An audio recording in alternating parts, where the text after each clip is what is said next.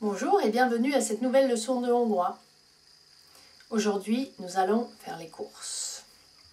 Avez-vous du pain? Van kenyér.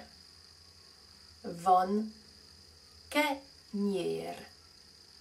Van kenyér. Où puis-je trouver le sucre? Hol találom a cukrot? Hol találom a cukrot? A cukrot? Combien ça coûte?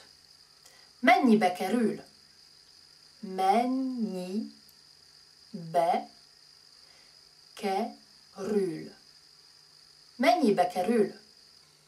J'espère que vous avez aimé cette leçon de hongrois et à très bientôt pour une prochaine leçon. Au revoir.